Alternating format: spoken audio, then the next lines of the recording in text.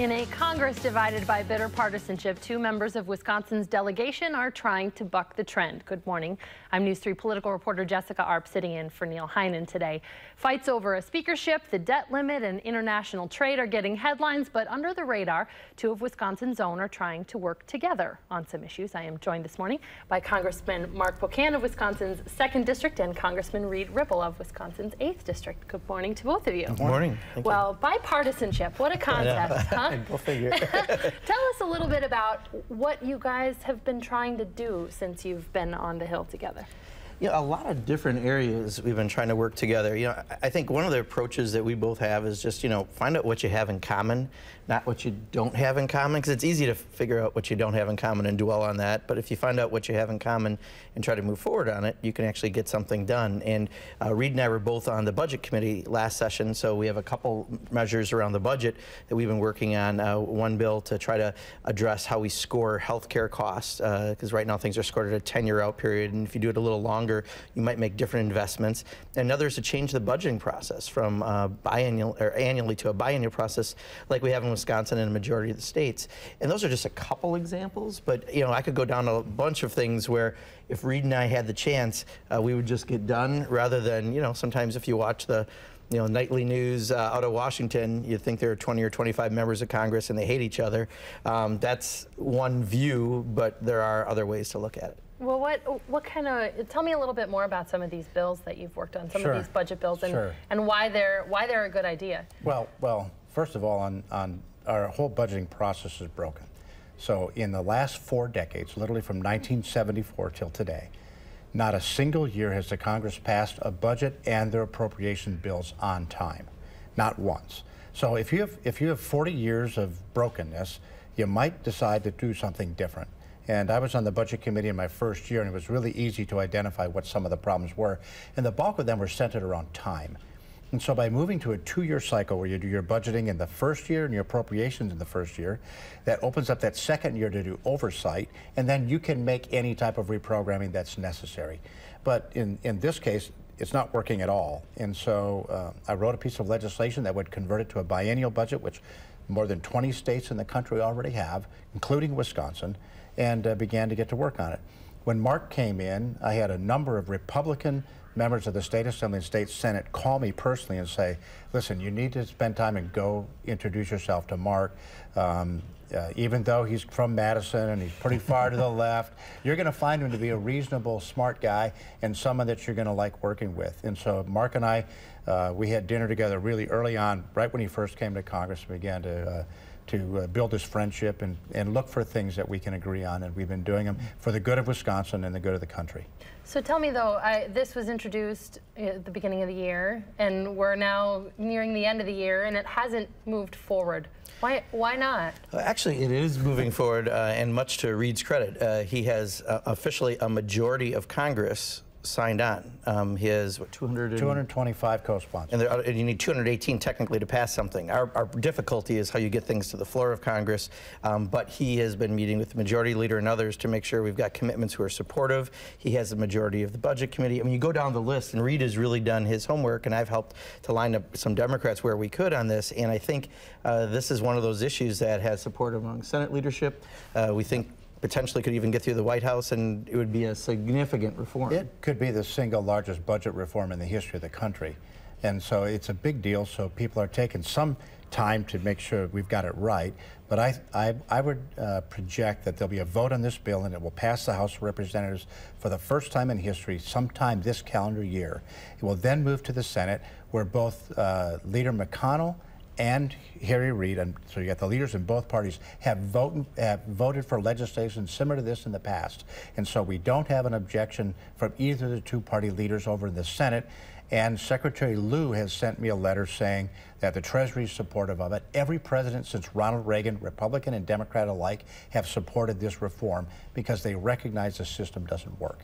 So what about, though, I mean, while you two are sitting here and you've mm. developed a relationship, what about changing the process to two years, though, might make it any less divisive. We see it in the Wisconsin State Capitol. It's a two-year process, but that doesn't mean it's any less hard of a fight to get things. I think one of the significant things is uh, when you take it out of an election year, that's often the year that gets the trickiest because you start getting closer and closer, especially in Congress. When one of the differences from the state leg legislature to Congress, uh, not only is, you know, I said sometimes in the le state legislature things move like a tortoise. In Congress, they move like an upside down tortoise. The process is slower, but also the election cycle starts literally the first few months after you've been elected. I would say two thirds of the targeted, you know, um, competitive races already had opponents going in, so you're already in that cycle again. So the more you can remove yourself out of an election year, the more you can get a budget done and the process done, and then do all the review and analysis that we never really have a chance to do, which would be very helpful. Right, and, and I, I would say this, it's not a panacea, no one thinks it is.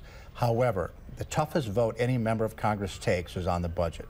By moving that into the first year furthest away from the reelection cycle, you're more likely to get it done. Secondarily, since 1974, 80% of, of election years did not have a budget at all. And so if anyone thinks that what we have works, that uh, you just can't, you can't, the data does not support it.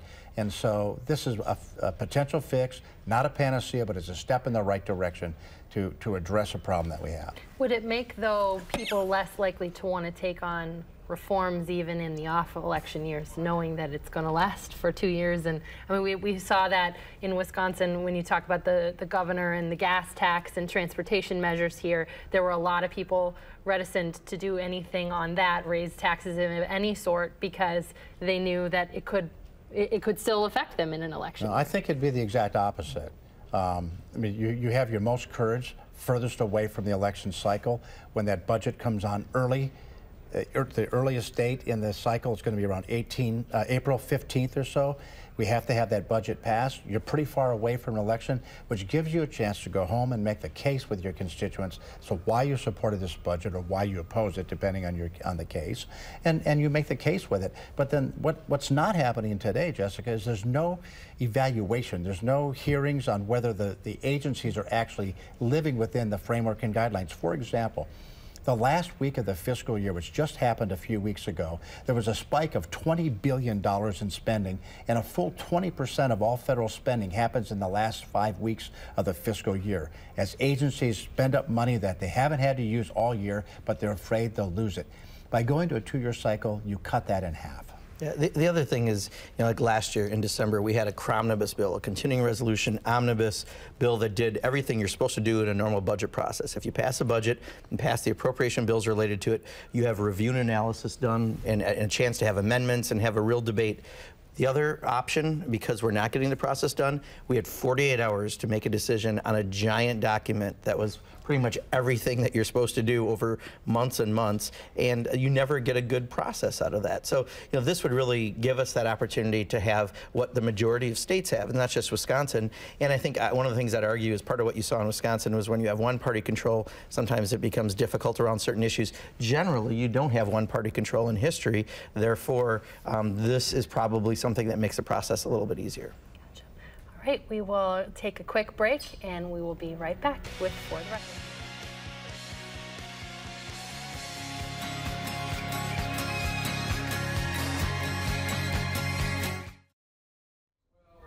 Welcome back this morning to For the Record. I'm News 3's Jessica Arp. In this morning for Neil Heinen, we are talking this morning bipartisanship with two of Wisconsin's congressional delegation, Democratic Congressman from the 2nd District, Mark Pocan, and Republican Congressman from the 8th District, Reid Ribble. We've, of course, been talking a lot this morning about what you've been doing together, but there are issues that divide you as well. It, big issues coming up before Congress. They're going to have to deal with before November 3rd with the federal debt ceiling, which is when the Treasury Secretary says the U.S. government will run out of money to pay its bills. If it isn't lifted by Congress, the federal government could shut down, as it did a couple of years ago.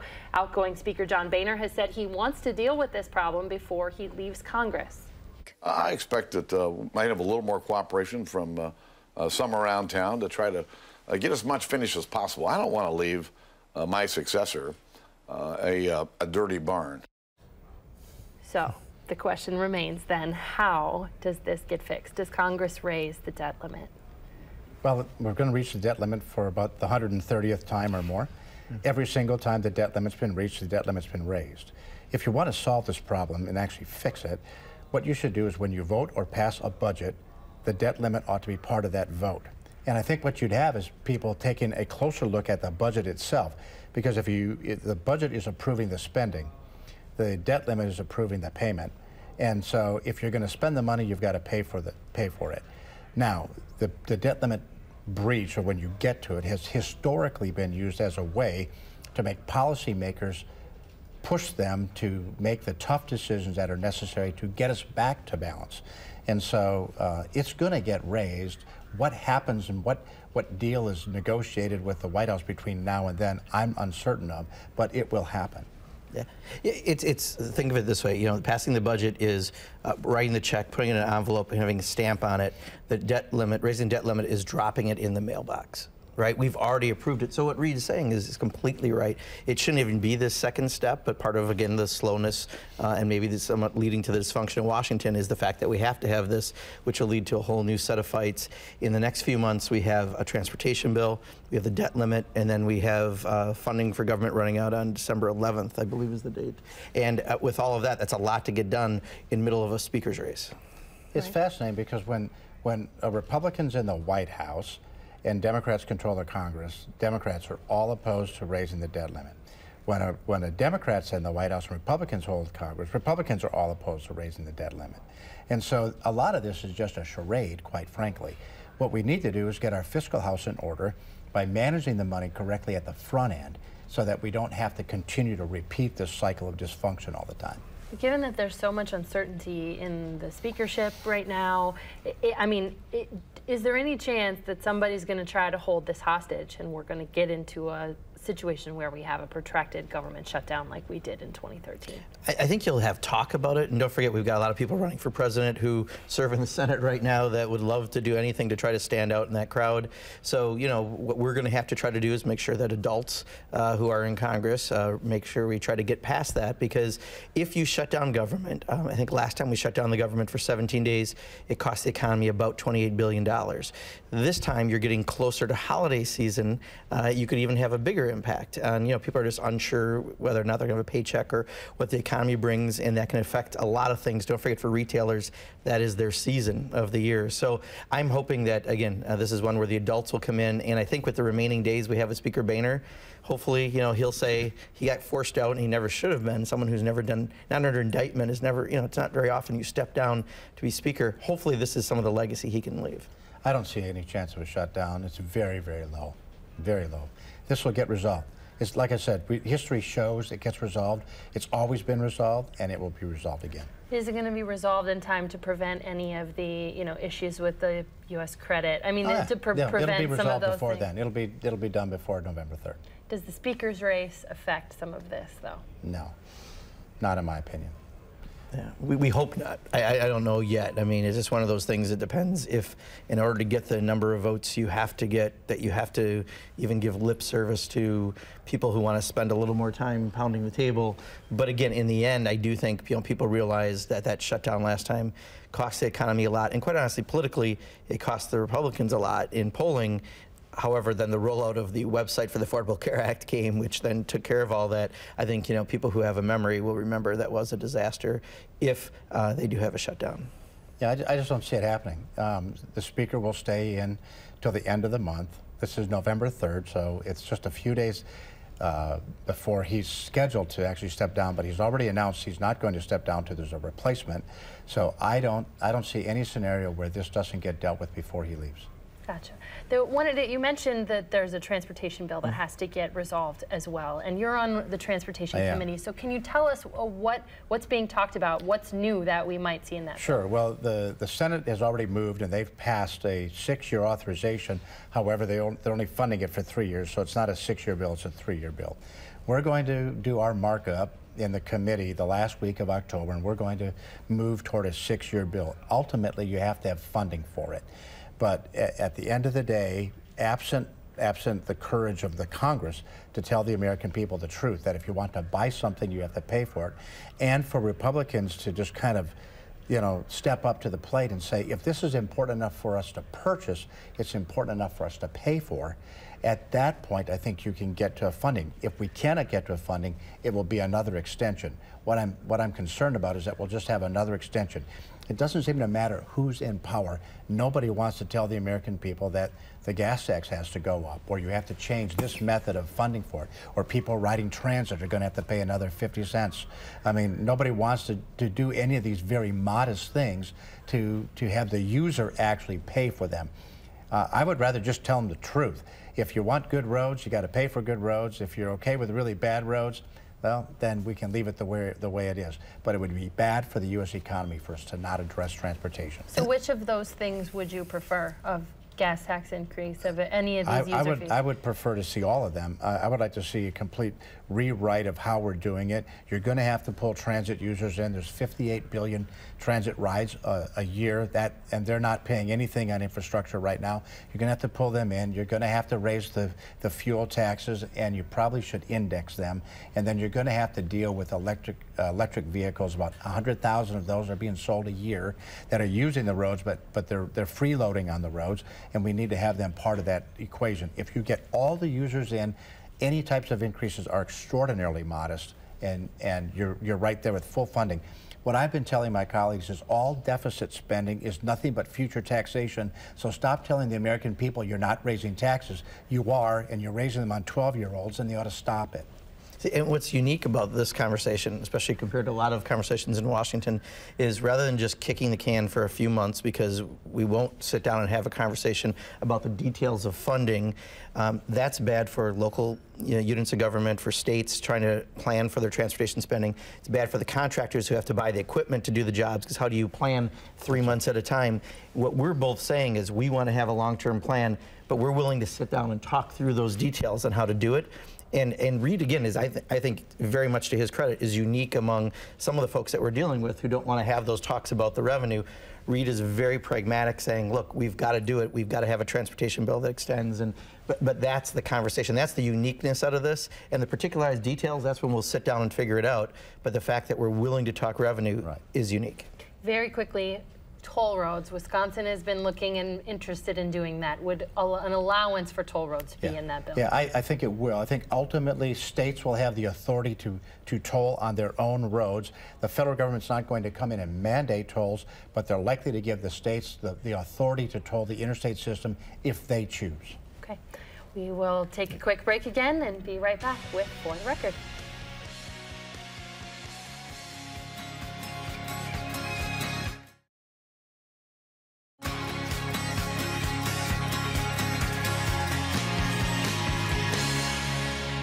Welcome back to For the Record this morning. I'm News 3's Jessica Arp in for Neil Heinen, and this morning we are talking to two of Wisconsin's congressional delegation, Democratic Congressman from the 2nd District, Mark Pocan, and Congressman Reid Ribble from the 8th District.